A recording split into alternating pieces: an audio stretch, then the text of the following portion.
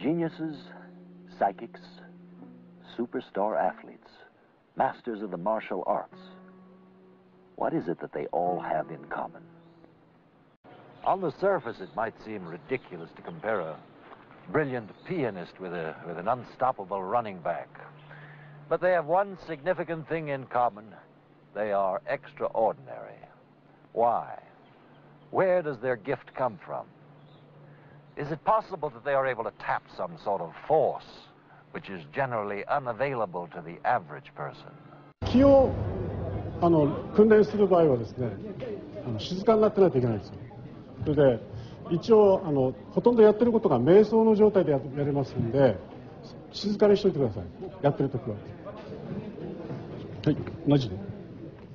リリラックスです。びっくり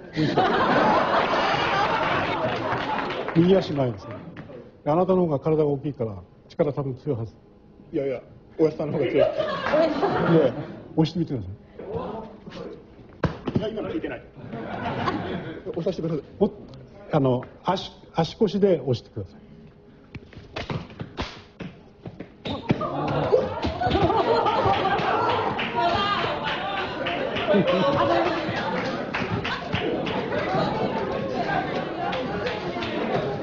おおすごい。これは大丈夫。いいですか？こんなこと言っちゃって。と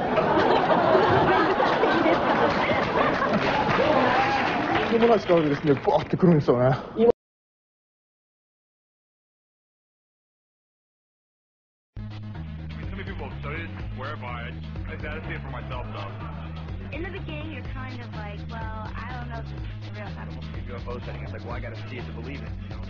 I, I hear these people do but until I see it, you know, it, it, it's one thing to hear, it's one thing to see.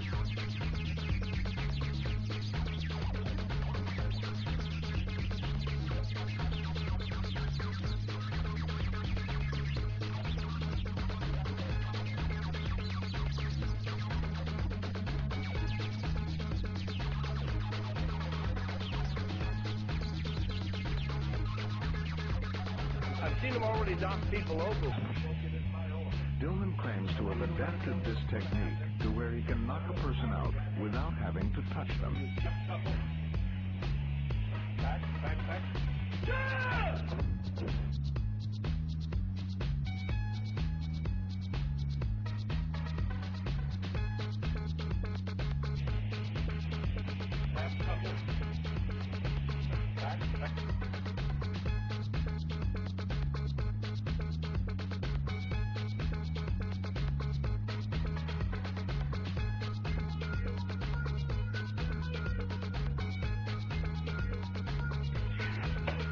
There we go. All of these karate techniques are made possible by manipulating chi. He makes a chi ball. He'll get the radio frequency going between the hands, and if you get up and feel, it's actually hotter inside that ball.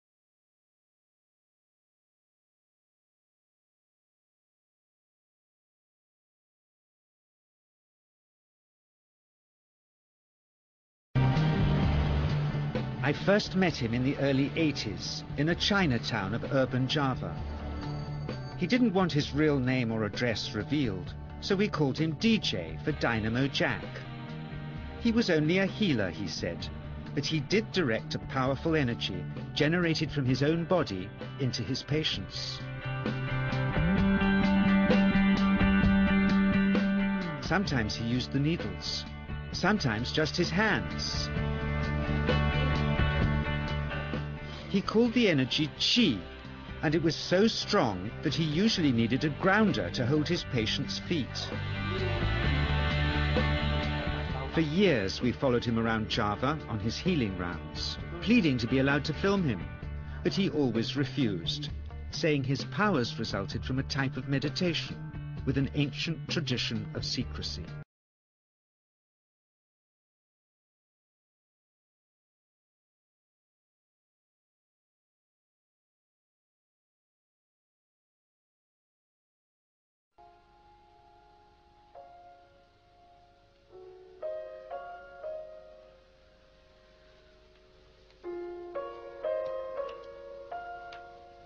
I'm not a person who um, can get deeply involved with meditation.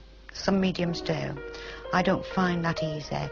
Um, but I like to pray to God and I ask the spirit world um, if there's anything I can do for them and tell them what I'm doing really and why I'm doing it. What's the reason for me demonstrating? What's the reason for me giving a private sitting? I think it's to bring a little bit of heaven into two worlds.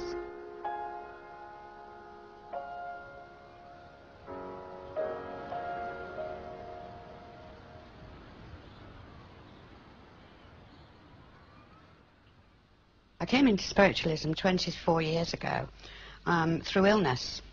I'd had a hysterectomy and uh, I really just didn't get any better. I ended up um, with a um, tuberculosis of my kidney and uh, I'd gone down to about six and a half stone and things were going ra radically wrong. And they thought really that I hadn't got very long to live. And uh, one day I'm sat at home and all of a sudden, out of the blue, I saw a man as clearly as I'm looking at you, I could see this man, and he told me to go and find a healer, or I wouldn't hear the New Year bells. I mean, I'd been arguing with God and saying why had He created all this for me, and um, I hadn't been a bad person, and and, and why. Um, when Terry came home, of course, I thought, well, he's going to think now that I've gone absolutely crazy. And he came in, and um, I said to him, uh, Terry, you know, I've seen a man, and uh, he kind of just stared a little, and I said, no, I haven't seen a man who was on earth. I've seen a man who's died, and he's told me to find a spiritualist healer. And of course, all the medication I thought was sending her a bit doolally or round the twist, you know. So I could, uh, I could relate to that and uh, and think, well, you know, um, when she saw the spirit world for the first time, I thought, well, perhaps it is the drugs. You know, you really don't know what to believe. And of course, I, I knew nothing about spiritualism or anything like that at the beginning. The wisdom. When I'm working in a church, I feel as if I'm free. I'm free from the limitations, and I am with the spirit world. And when you have someone in the audience who says, yes, that's my mother, and um, will you tell her that I love her, and things of that nature, it's, it's just like being in heaven, really. It's just like being in heaven. She's met up with her sister, by the way. Yes, So you've yes. lost an aunt as well. Yes. And the aunt must have gone quite quickly.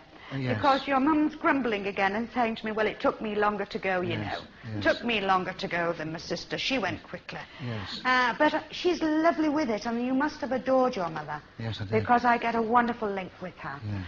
Um, I believe your wife's on the earth, is that Sure, correct? that's correct, yes. Um, I'm glad I'm right about that. I'd have been in a bit of bother, wouldn't I, if I'd have been wrong. Uh, it's the way When I'm looking at the world of the spirit, I see them as, I'm, um, as if I'm looking at you. Um, when I hear them, I can hear a voice, and I know whether they come from Scotland or the south of England. Um, actually, it's a change of consciousness. We just alter our state of consciousness. And we're not seeing through these eyes, and neither do we hear through these ears. It is as if a faculty um, that connects to us just opens up, and as if we draw a veil or a spring comes back, and there we have the vision. Can I tell you that there's a Nellie here in the spirit Yeah, world? yes. And if I talk to you about a Robert who was known as Bob, can you place me that, please? I just can't place that. Now, if you can know. find Tom, Oh, yes, I know Tom. you can find Tom. Yeah. Now, Tom's not very tall. He hasn't got a collar on his shirt. It's open neck. And um, I feel that if you can find the one, then you'll eventually link to the other. yes. Norman wishes to be remembered. Yes, So you Norman, know Norman. yes. You also know a gentleman who would have had sugar diabetes, because I get sugar diabetes here. And the way you might recognize him was that he did have an operation, and I'm quite sure he must have lost a leg. Does that make sense to you? Uh, No. It doesn't. I, no, I can't. I can't talk about Arthur, I know Arthur. and if I can talk Oh, about... he lost a toe. Did he? Well, he did have sorry accident. Yes, I'm sorry. I'm sorry. I don't, I don't think the specialist would be very pleased with me a toe to a leg. But he just talked about, you know, tell her, because the way she'll remember me is that, you know. And um, I just felt that the sugar did take him to the spirit world. Yeah. All right, darling. Yes, thank you. Thank you very Thank much. you. Ladies and gentlemen, on behalf of the world of the spirit, may I thank you for being here. You are the evidence that love, like life can never die. You have proved it. You have given. I pray that you all have received. Good night. God bless. Safe journey. Good life.